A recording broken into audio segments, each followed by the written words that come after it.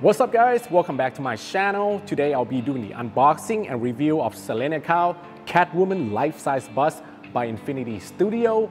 This is going to be my third piece from them and I haven't done any serious review of it yet. So I'm kind of looking forward to seeing this. And as you might know, you might have seen like photos from Chinese collector before and I thought they looked really great. So I, let's hope it meet the expectation. Let's get it.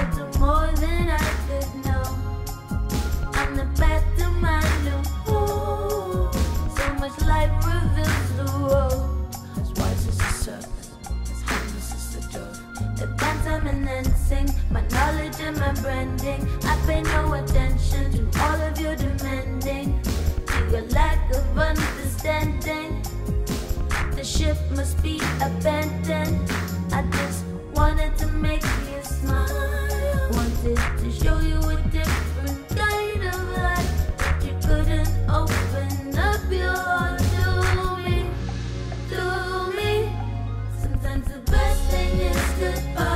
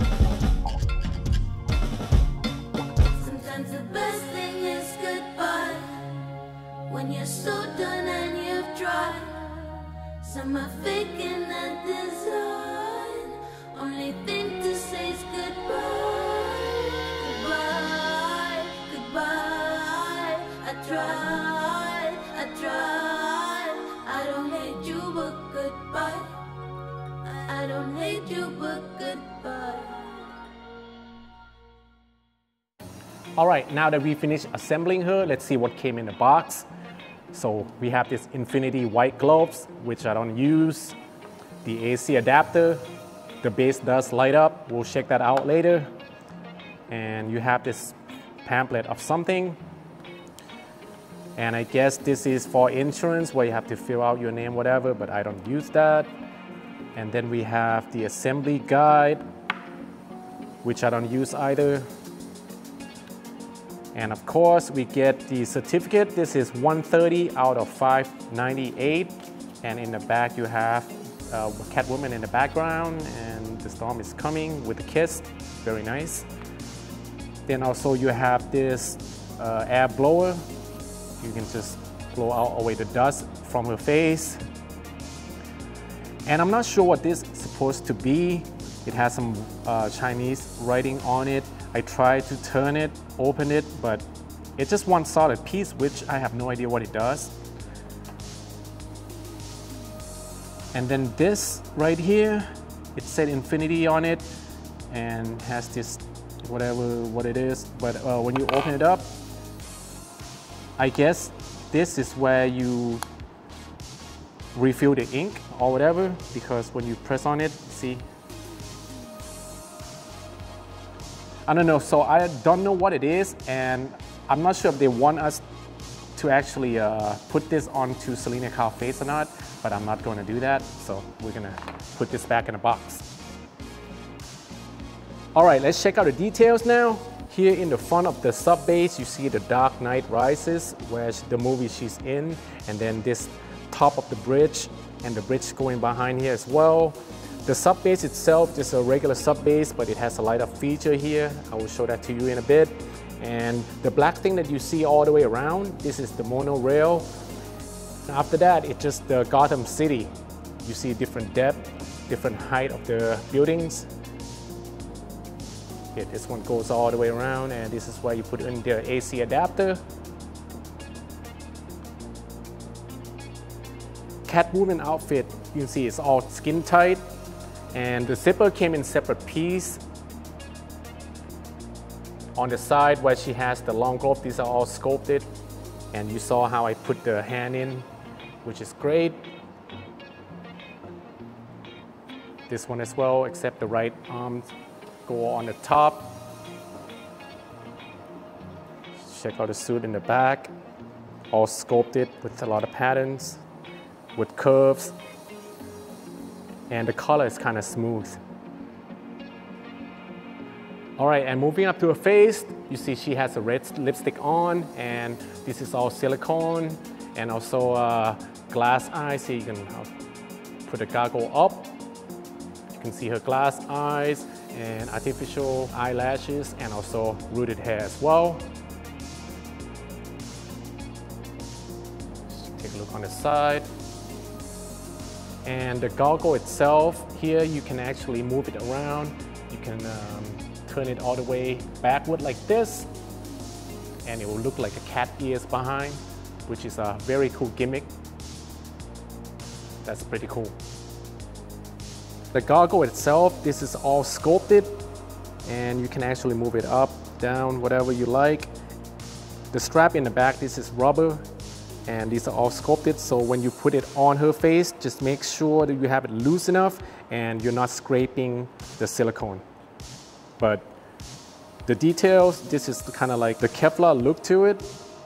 The design of it is pretty cool. I like this. All right let me turn the light up feature on. There we go. Let's check out the dimension. Let's start from the base itself the length of the base is about 15 and a half inches or about 40 centimeter. And the depth of it, it is about 13 inches or about 33 centimeter. Now the length of the full arm to arm, it is around 27 inches or about 69 centimeter. And the depth it is around 30, no, 14 inches or about 36 centimeter. The height, it is around, it's close to about 31 inches or about 78 centimeter. So she's not as big and not as small either.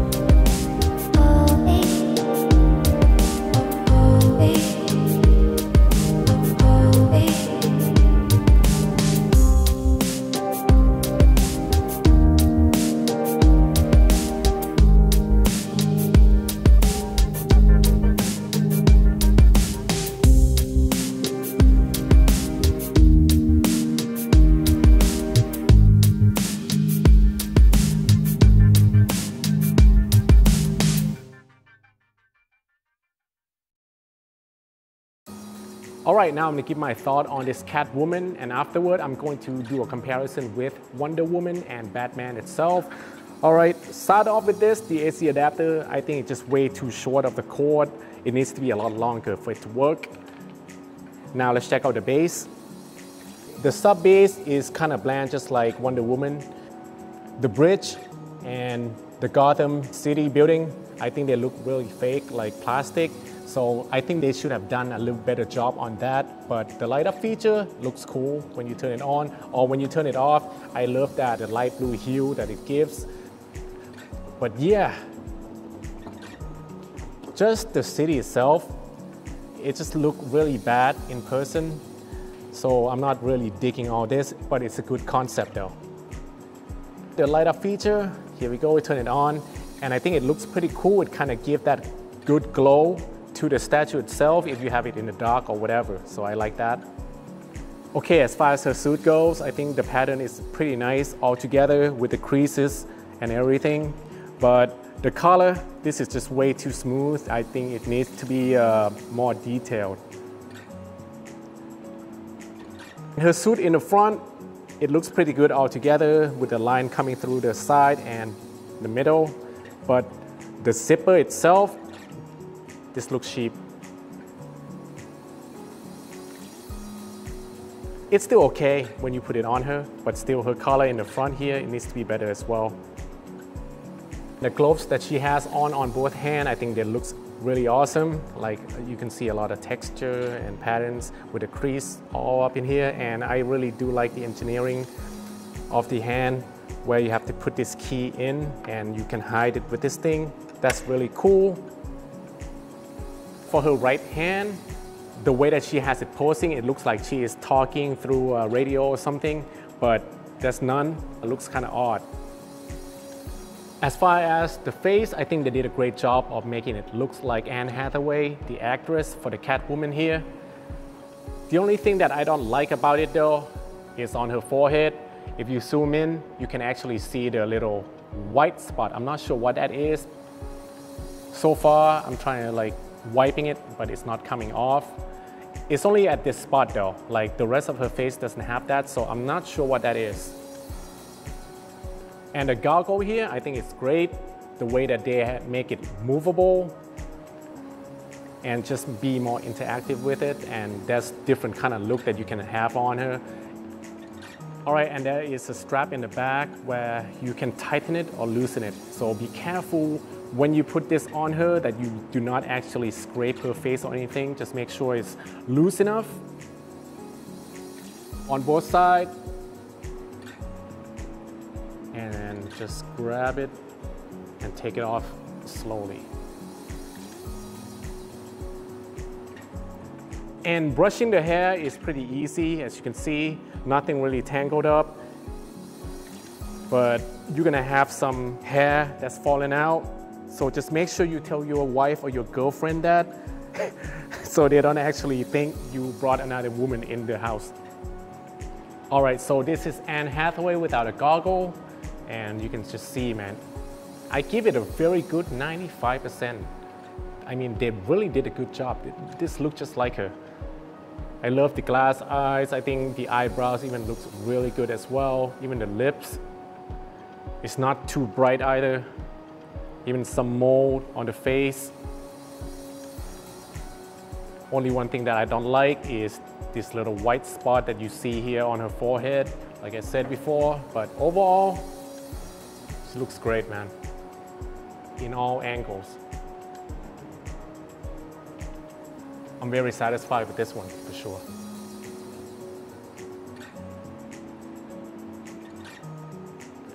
All right, now I got her with Batman and Wonder Woman here. The Batfleck is the pimp right here, you know, having two girls on both sides. But you can see that she is about the same size as Wonder Woman, except she's a bit taller while Wonder Woman is kind of tilted her head downward. Yeah, it's about the same, which is very nice. And one thing they all, they all have in common is the base, the sub base. It's very bland, especially Wonder Woman. That's the only thing that I do not like about Wonder Woman. The rest is basically perfect. Like even the face, It's so much better than I thought it would be. Very happy with that. And even Batman, I think this, this is Ben Affleck, no doubt. A lot of people that came into my gallery, they always go here and just check him out because it's really look just like him. With all this stubble right here, it just make it even better. And one more thing about Wonder Woman, these are all silicone, like the whole arm is, except it's a little bit different from the face. The face is a little bit softer. The body is kind of hard. You can see here, yeah. But it looks really good.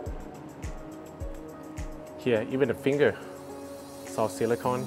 You can actually pry it open because the lasso is actually the real material as well. It's pretty soft, but really cool. They did a really good job with the leather strap right here, all real leather as well. And these are all sculpted. They did a very nice job on here. If you look at a tiara, sometimes people say that the tiara is a little bit too small for her forehead. I don't think so, man. I think it looks great. Like you can adjust this however you like. I just kind of like it a little bit lower like that. And a lot of people talk about like the creases right here on her forehead. It doesn't really bother me because the tiara actually kind of cover it anyways. So I don't have a problem with that. And the Batfleck's, you just have to be careful when you move him. I mean, when you put them together, there is a little keyhole for both of the arm. And this one actually came in three big boxes, while Wonder Woman and Catwoman came in just one box. Just keep that in mind. This one is a lot bigger, but it also has a lot more presence as well. Just be careful. There are like different parts, like even the thumb with the batarang here. They all came in separate piece and it's very sharp as well. So you gotta be careful if you have your kids around or whatever. Yeah. And also this blade, these are all magnetic. The one on his gauntlet and it's pretty fragile and the magnet doesn't really stay on here that well. The cape, I believe this is pleather, not real leather. So you have to keep it in a cooler temperature room, otherwise it's going to crack. Just keep it away from the sun. That's the only about bad thing that it has, but uh, the base itself, it has a very nice texture and patterns to it, kind of remind me of the, the armored suit, which I really like. The detail on the tactical suit itself, man, love it. With the battle damage, all dirty up, very cool. And the cowl, this is all sculpted as well, which is very nice. Like uh, it has more like a metallic look to it. And here it's all dirty up, very nice. The skin tone is very good as well, even the lips. It's not too pinkish for the guy. And also you have the option of the goggle to have it cover his eyes or up like this. But I prefer to see his eyes anyways. Okay, a lot of people have doubts about these silicone statues, whether it will last long or not, but I can't really answer that for you. Uh, in my own experience, I own the Batman for about two years now and I don't have any problem with it. I think if you don't have the statue at the direct sunlight and you should be okay. They're not as fragile as you think. Also, one more thing, when you are handling the silicone, just make sure you wear gloves so the sweat on your hand doesn't actually have the chemical reaction with the silicone itself. All right, overall, I really do love this bus, especially from Infinity Studios. That's why I have so many, and I still have a lot on pre-order left to come. Also, I paid about $3,600 for the Catwoman, which is a lot of money, but I think it is worth it. But the downfall is it takes up a whole lot of room because it is a full torso.